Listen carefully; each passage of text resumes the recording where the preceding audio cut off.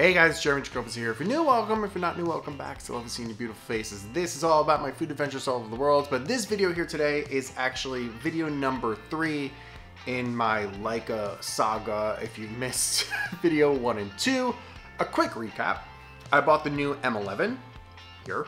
Uh, I wanted to buy the new 35 APO lens, and I realized that, well, you couldn't actually get that lens. So then I went and finally got this lens, which is the 35 millimeter uh, 1.4 and then I finally put on my Leica, up, and it didn't work. You can go back and watch those videos, but bless the B&H people. After one week of me bringing back the camera, they were able to expedite my new camera, and it is here, and I don't want this to be super long because I just want to goddamn turn on the camera and see if I can take a photo.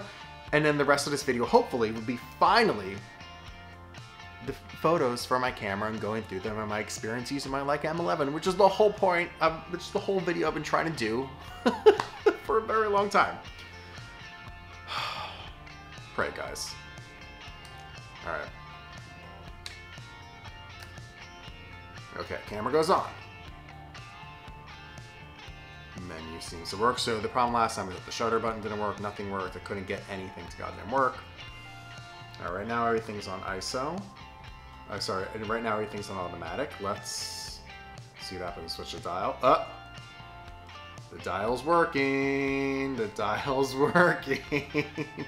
okay. that dial works. Let's see here. ISO dial works. Okay. So far, so good. Let's see if it actually takes the photo. Here we go, guys. Here we go, finally. We're gonna take a photo. We're gonna take a photo.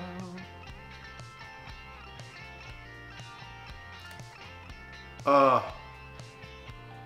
Oh. The greatest noise in the whole world. I finally was able to take a photo on my Leica. Okay, so here's what I'm gonna do. I'm gonna mess with it. I'm gonna learn with it. I'm gonna shoot with it, and then we'll come back and chat about the camera.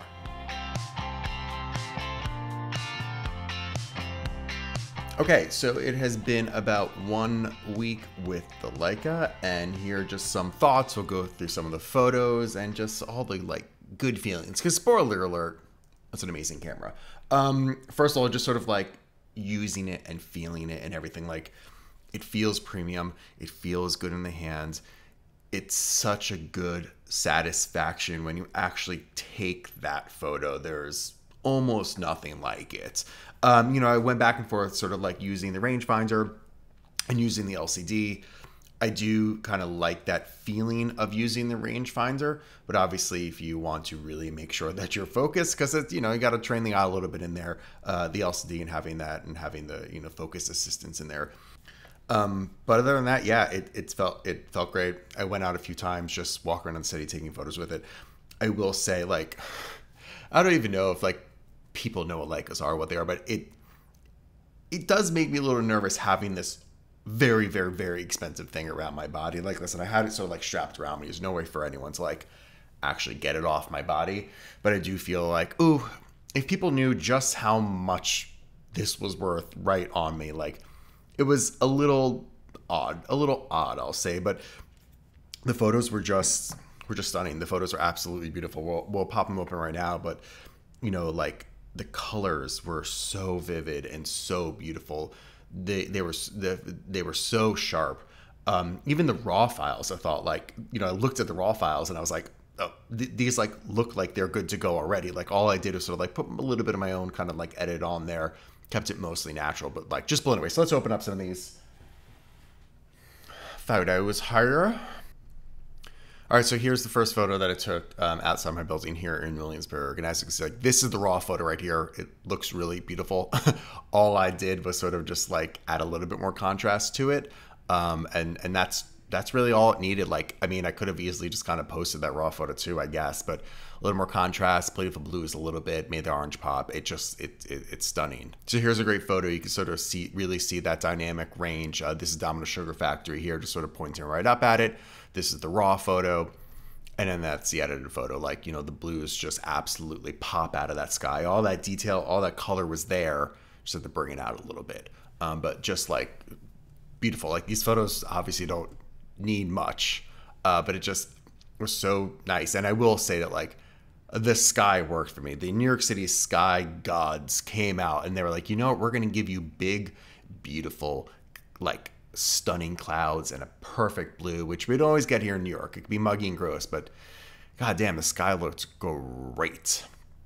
This is uh, Midtown Manhattan. I mean, it, it, it, it doesn't even look real. And the colors just, oh. This is another one of my photo, favorite photos here in Domino Park. Sort of like, I love the structure, I love the texture, I love all the shadow lines you get. And yeah, like, obviously, like, listen, it's a beautiful photo on a camera. Add my little, my, my little magic to it. Uh, and it's just, it's, it's, it's, it's beautiful. It makes me so happy. Okay, so then I took it over to Union Square, uh, a great place to get photos of statue. There's the people, there's the farmers market going on. There's so much activity. Uh, this is statue here. I love the way these greens are looking, like just just beautiful. This is next day, so the sky was not as perfect, but still really really pretty. I mean, just uh, the way reds look, the reds and greens in these photos, just I think they they look absolutely beautiful. And then I took it down to Washington Square Park. This is the arch that's in a park there. Uh, just absolutely, I, I, I, I love these photos. I love the camera. Listen, you know, I think a lot of questions I'm getting like, well, you know, is it is it worth it to spend all that much money on the camera?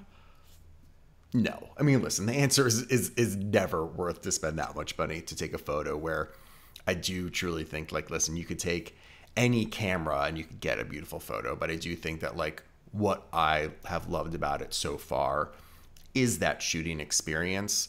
It's it's it's so good. It feels so good. I like it. I think you know it forces me to slow down a little bit when I take photos and I think when you really slow down and really think about the photos a little bit more, you become a better photographer. So the fact that I have to manually focus everything, I really have to line it up a little more carefully because it's a rangefinder.